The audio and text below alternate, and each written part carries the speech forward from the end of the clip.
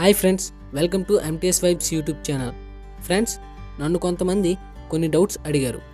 ఈ వీడియోలో మనం వాటి గురించి డిస్కస్ చేద్దాం మీకు కూడా అలాంటి డౌట్స్ ఏమైనా ఉంటే కామెంట్ సెక్షన్లో కామెంట్ చేయండి నంబర్ వన్ మనం చెప్పులు వేసుకొని ఉన్నప్పుడు ఎలక్ట్రిక్ షాక్ కొడుతుందా కొట్టదా సాధారణంగా మనం వాడే చెప్పులు రబ్బర్ మరియు కొన్ని పదార్థాలతో తయారవుతాయి రబ్బర్ అనేది ఎలక్ట్రిసిటీకి బ్యాడ్ కండక్టర్ మన శరీరం నుంచి కరెంట్ పాస్ అవ్వాలంటే మనం ఏదైనా ఎలక్ట్రిసిటీ కలిగిన వైర్ని పట్టుకొని ఉన్నప్పుడు మనం ఒకవేళ ఎర్త్కి డైరెక్ట్గా కనెక్ట్ అయి ఉన్నప్పుడు మనకి ఎలక్ట్రిక్ షాక్ కొడుతుంది అంటే ఇక్కడ ఒక ఎలక్ట్రిక్ సర్క్యూట్లా యాక్ట్ అనమాట ఇంకా సింపుల్గా చెప్పాలంటే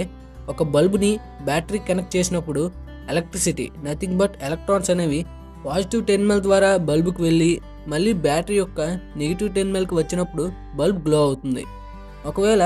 నెగిటివ్ టెర్మినల్ దగ్గర వైర్ను మనం డిస్కనెక్ట్ చేస్తే బల్బ్ గ్లో అవ్వదు అలాగే మనం రబ్బర్ చెప్పులు వేసుకున్నప్పుడు రబ్బర్ ద్వారా ఎలక్ట్రిసిటీ పాస్ అవ్వదు కాబట్టి మనకి షాక్ కొట్టదు మనం డైరెక్ట్గా ఎర్త్కి కనెక్ట్ అయి ఉన్నప్పుడు మాత్రం షాక్ కొడుతుంది నేను చెప్పా కదని దయచేసి ఎవరూ దీన్ని ట్రై చేయకండి ఎందుకంటే మీ చెప్పులు తడిచిపోయి ఉన్నా మీ చెప్పులకు ఏవైనా మెటల్ అటాచ్ అయి ఉన్నా ప్రమాదం జరగవచ్చు so be careful number two రీసెంట్గా ఒక వ్యక్తికి త్రిమింగలం వాంతి చేసుకున్న పదార్థం దొరికింది దానికి ఎందుకంత విలువ థాయిలాండ్కి చెందిన అరవై సంవత్సరాల నారీ స్వాంగ్జాంగ్ అనే ఫిషర్మ్యాన్కి సముద్రం ఒడ్డున నడుస్తుంటే ఒక రాయి లాంటి పదార్థం కనిపించింది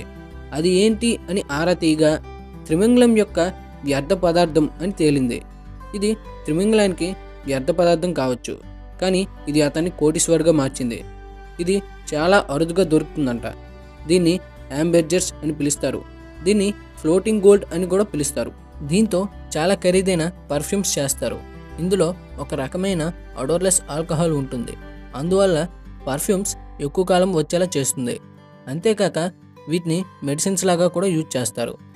అతనికి దొరికిందని బరువు తొంభై తొమ్మిది కేజీలు ఇప్పటి వరకు అంత మొత్తంలో ఎవరికీ దొరకలేదు నెలకి ఆరు వందల ఇరవై ఐదు డాలర్స్తో జీవనం సాగించేవాడు ఇది దొరకడంతో కోటీశ్వరుడయ్యాడు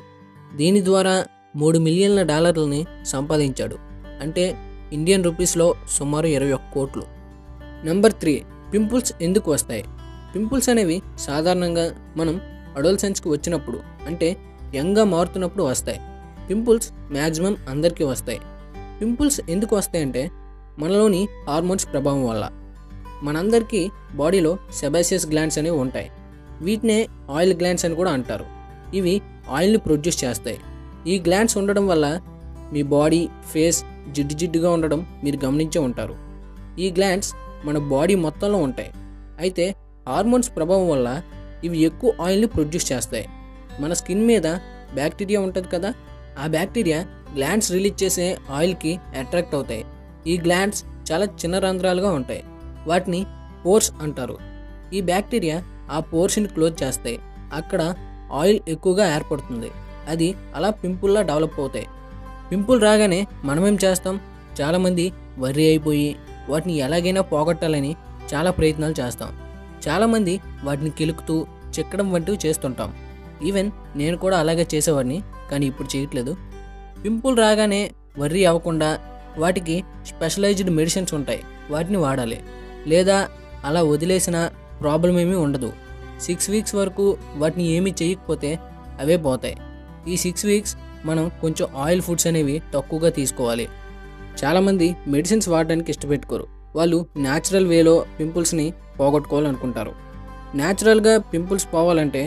tea tree oil aloe vera honey ice green tea వంటి పదార్థాలను యూజ్ చేయాలి వీటిలో యాంటీ బ్యాక్టీరియల్ ప్రాపర్టీస్ ఎక్కువగా ఉంటాయి ఇంకో విషయం ఏంటంటే ఇవి కేవలం హార్మోన్స్ వల్లే కాదు జీన్స్ వల్ల కూడా వస్తుంటాయి నంబర్ ఫోర్ కీ మూవీలో చూపించినట్లు పేస్ మేకర్ని హ్యాక్ చేయగలమా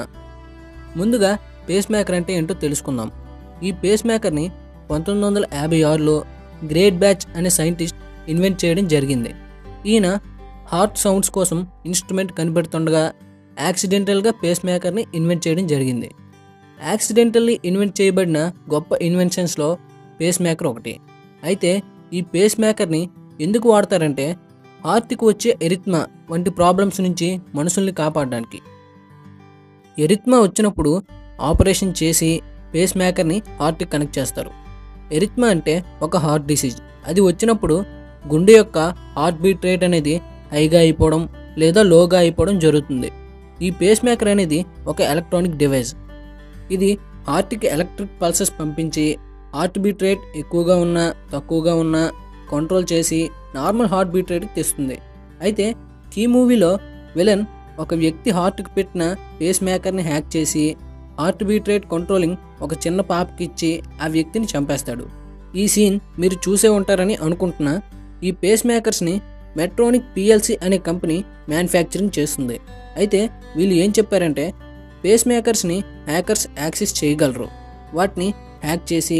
పేషెంట్ లైఫ్ని రిస్క్లో పెట్టగలరు కానీ ఎవరు కంగారు పడకండి ఇప్పటి వరకు అలాంటివి ఏమీ జరగలేదని చెప్పుకొచ్చారు ఇప్పటి వరకు ఇలాంటి కేసెస్ ఏమీ రిజిస్టర్ అవ్వలేదని చెప్పారు